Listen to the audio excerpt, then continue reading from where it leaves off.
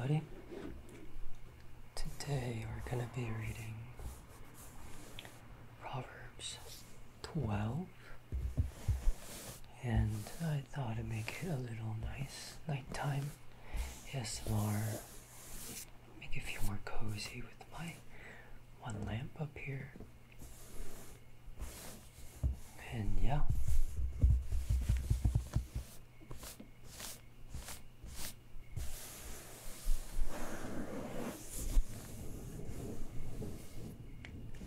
There's a thunderstorm happening right now, and it's been raining on and off.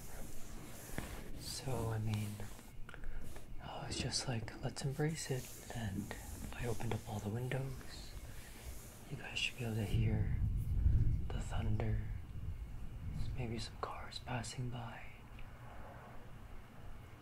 And um, the, the nighttime noise. So relax, close your eyes, and let's read. Proverbs 12. Whoever loves discipline loves knowledge, but he who hates correction is stupid. wow, God is uh, direct on this, huh? That's funny, actually. A good man obtains favor from the Lord, but the Lord condemns a crafty man. A man cannot be established through wickedness, but the righteous cannot be uprooted. A wife of noble character is her husband's crown, but a disgraceful wife is like decay in his bones. The plans of the righteous are just, but the advice of the wicked is deceitful. The words of the wicked lie in wait for blood, but the speech of the upright rescues them.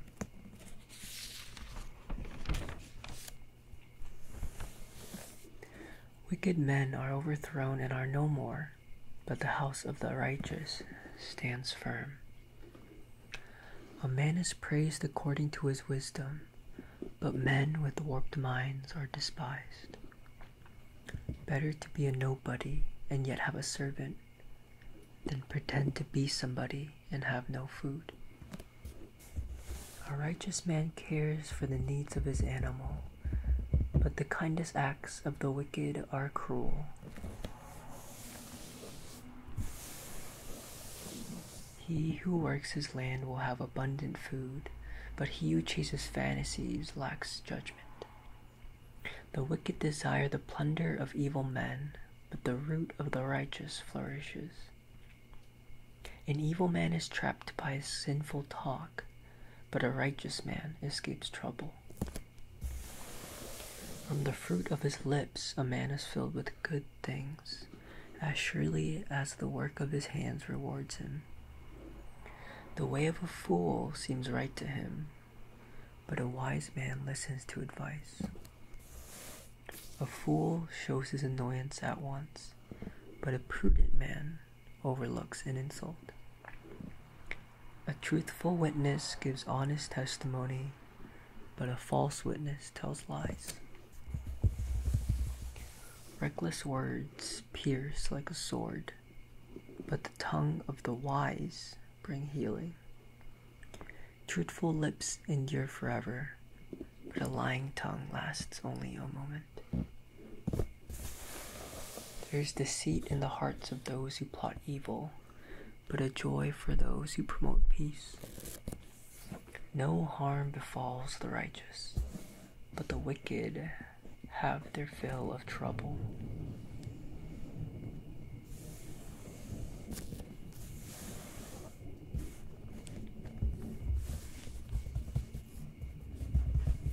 The Lord detests lying lips, but he delights in men who are truthful.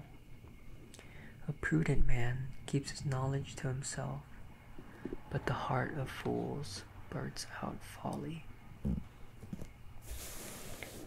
Diligent hands will rule, but laziness ends in slave labor.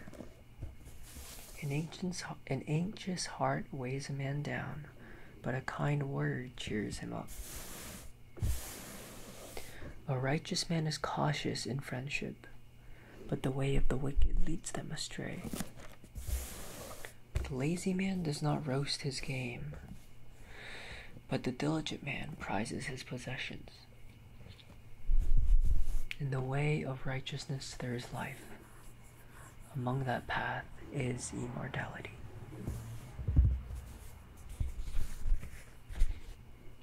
Short chapter, but I think my favorite verse is. Let's see, where is it?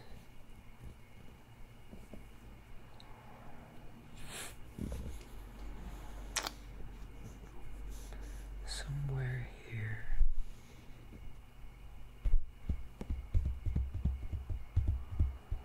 Right here, verse 18. I feel like in my life I used to say a lot of stuff that would not, like, wouldn't be rude, upright, like, there's no reason to say something like that. And then perhaps someone would take it in a rude fashion. Um, so I think I learned to be more thoughtful and mindful of what I have to say. And verse 18 really shows, I think, what I've been trying to do. It says, Reckless words pierce like a sword, but the tongue of the wise brings healing.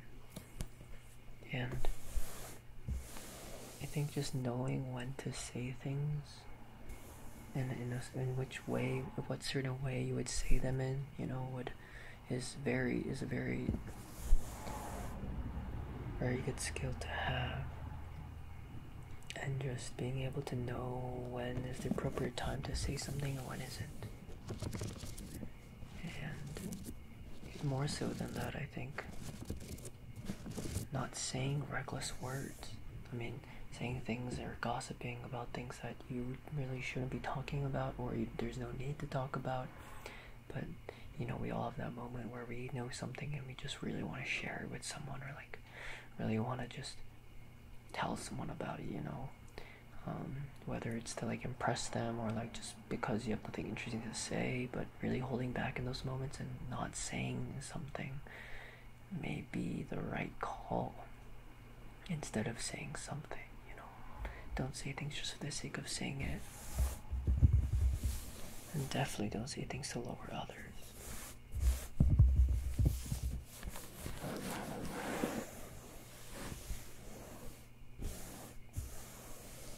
Alright, let's read. Explanations.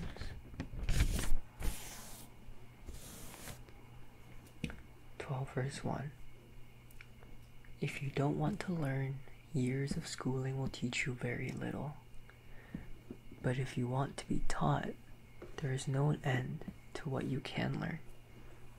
This includes being willing to accept discipline or correction to learn from a wisdom, to learn from the wisdom of others. Hmm. A person who refuses constructive criticism has a problem with pride. Such a person is unlikely to learn very much. True. To be established means to be successful. Real success only comes to those who know what is right, who do what is right, and know. Their efforts stand the test of time. Then, what kind of success does wickedness bring? We all know people who cheated to pass a course or to get a larger tax refund. Is this not success? And what about the person who ignores his family commitments and mistreats his workers but gets ahead in business? These apparent successes are only temporary. They are, blot, they are bought at the expense of character. Cheaters grow more and more dishonest, and those who hurt others become more callous and cruel. In the long run, evil behavior does not lead to success, it only leads to more evil. Real success maintains personal integrity.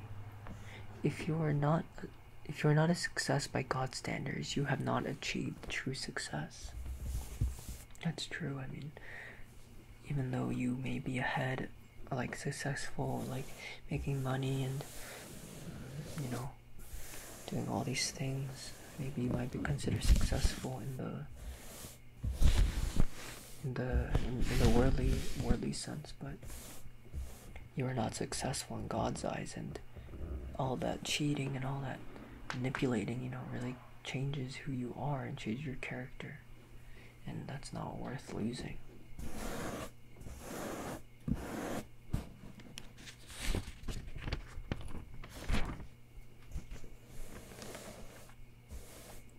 Twelve thirteen.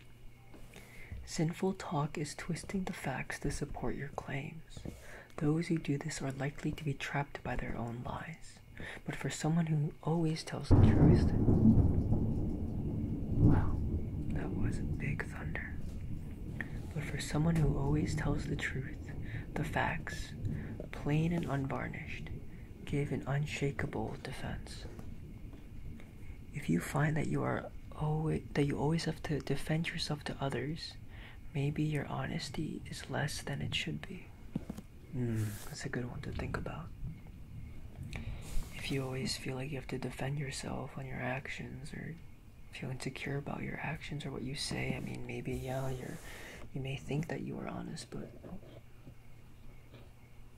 I got a smudge. I got a smudge on my glasses. Oh no, I think it's actually a crack. Uh oh. Anyway, yeah, maybe if you have to always defend yourself and everything on in what you do, you know, and what you say, maybe uh, maybe your honesty is a little less than you thought, and you might have to reconsider. Always good to be humble and you know open to thinking thinking these things. Twelve sixteen. When someone annoys or insults you, it is natural to retaliate, but this solves nothing and only encourages trouble. Instead of ans- instead oh sorry instead answer slowly and quietly. Your positive response will achieve positive results. Proverbs 15:1 says, "A gentle answer turns away wrath." Yeah, I mean, if you've ever like tried to like whisper when you're angry, um, or like talk very softly when you're angry, I think it it really shows, you know. I think it's it's it's a, it's a more effective way of communicating your feelings than yelling. Cause I feel like people listen even more like when you're like scaredly quiet and you're like angry,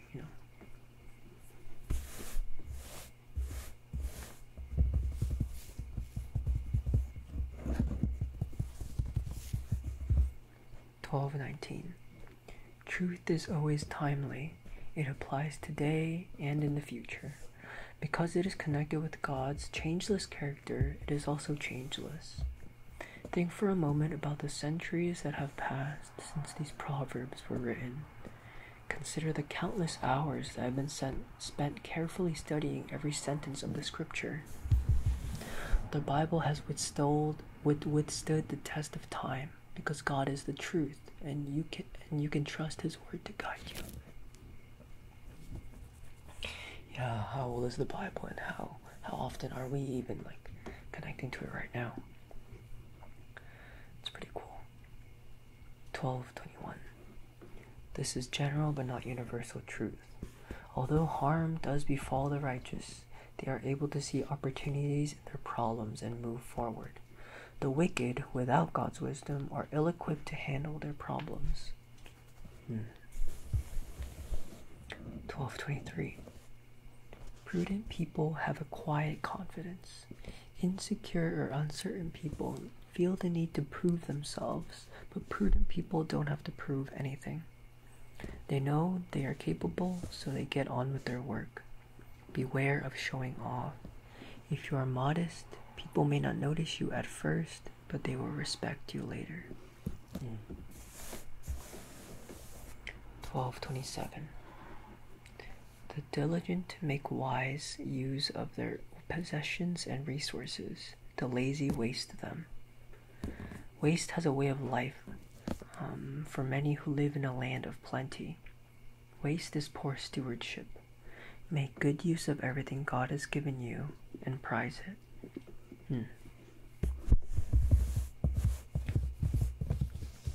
For many, death is a darkened door at the end of life, a passageway to an unknown and feared destiny. For God's people, death is a bright pathway to a better and new life. So, why do we fear death? Is it because of the pain we expect, the separation from loved ones, its surprise? God can help us deal with those fears. He has shown us that death is not final, it is just another step in the eternal life we received when we followed Him.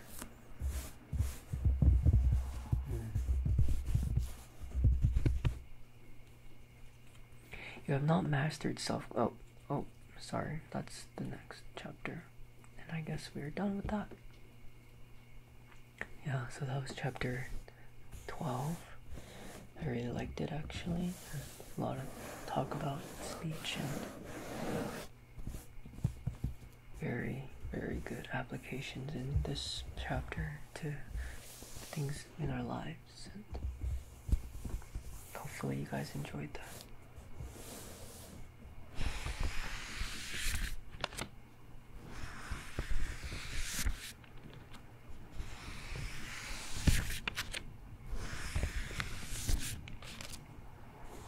Um, yeah, I'm definitely planning on making a video on Wednesday this week. Sorry, there hasn't been a Wednesday video in like two weeks, I think. Um, but I think I, I'm just gonna might do another mukbang. Um, I have an idea. Oh, and I could maybe do a singing one for next week. And I do have an idea of doing some sort of ASMR funny video type of deal, but I'll have to think about it more and I can I think prepare more if I'm actually gonna do it. Um, like I said, I'm I'm pretty camera shy, but we'll see if I can muster up the courage. Yeah, so I mean yeah, hope you guys enjoyed. Do a couple more page flips for you guys.